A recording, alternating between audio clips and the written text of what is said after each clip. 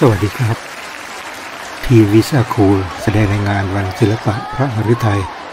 ในวันที่ 17 พฤศจิกายน ปี 2552 หรือในคศ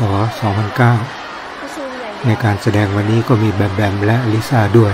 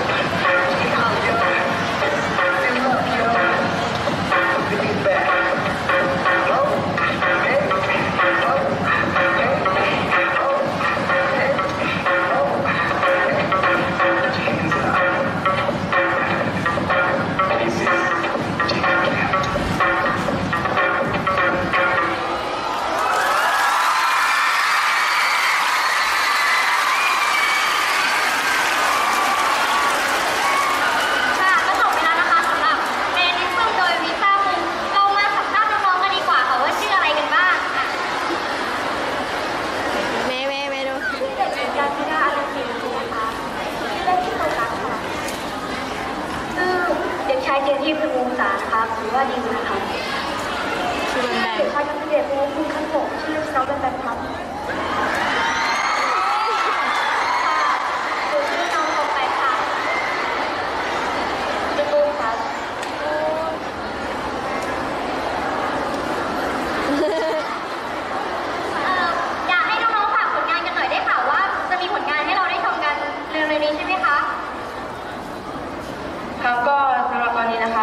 เราทั้งห้าคนแล้วก็เพื่อนๆอีกหกคนรวมเป็นสิบเอ็ดคนก็มีแข่งรายการ LG Entertainer อยู่นะครับ แล้วก็จะออกอากาศถ่ายทอดสดวันที่ 29 พฤศจิกายน ทางช่องโมโนนาทีวีทั้งครึ่งสี่ทุ่ครึ่ง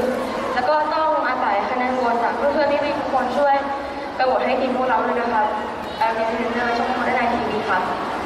ทุกวันอาทิตย์ โอเคค่ะ แล้วก็อย่าลืม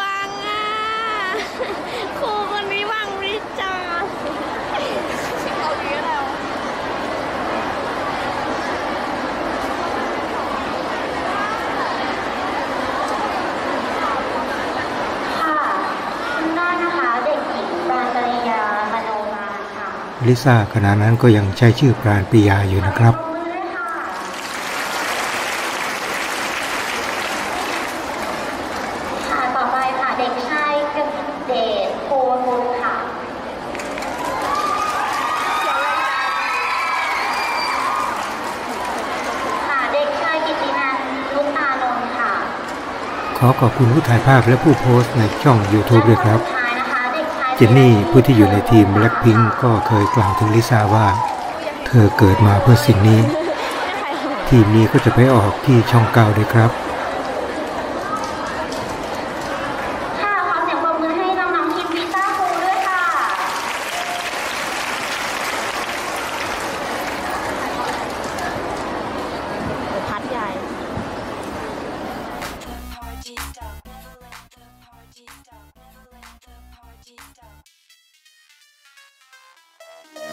เมื่อวันที่ 19 กันยายนที่ผ่านมาบริษัท J-Plan International ร่วมกับ YG Entertainment ค่ายเพลงเกาหลีและ Channel V Thailand ได้จัดงานแถลงข่าว The First YG Audition in Thailand เปิดโอกาสให้เด็กไทยได้เข้าร่วมออดิชั่นเป็นศิลปินในสังกัด YG Entertainment โดยงานนี้เป็นงานออดิชั่นสุดยิ่งใหญ่ที่จัดขึ้นเป็นครั้งแรกของเมืองไทย และเอเชียค่ะ ในงานแถลงข่าวนะคะ YG Entertainment ก็ได้ส่งทีมงานมายืนยัน พร้อมพูดคุยถึงโครงการนี้ก็คือมิสเตอร์ลีจุงวอน Casting Manager และหนุ่มอิมแทบินแห่งวง 1TYM ที่มาร่วมเป็นสักขีพยานกับงานในครั้งนี้ด้วยค่ะ First off, uh, I'd like to say hello to everybody here in Thailand. And uh, thank you for everyone's hospitality. ภาพเก่าๆกับสมาชิกวง We Zaa Cool แบมแบมก็ตัวเล็กกว่าลิซ่า แต่ตอนนี้แบมแบมก็ตัวสูงกว่าแล้วครับ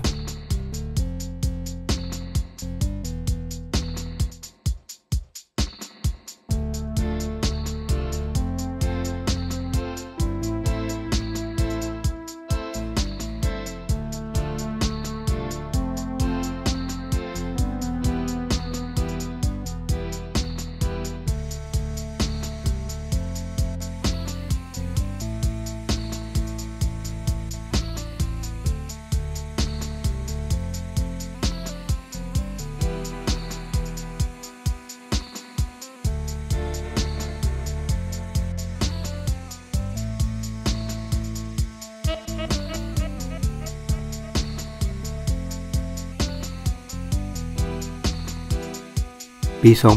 2010 ลิซ่าก็เป็นเด็กฝึกงานของ YG ที่เกาหลี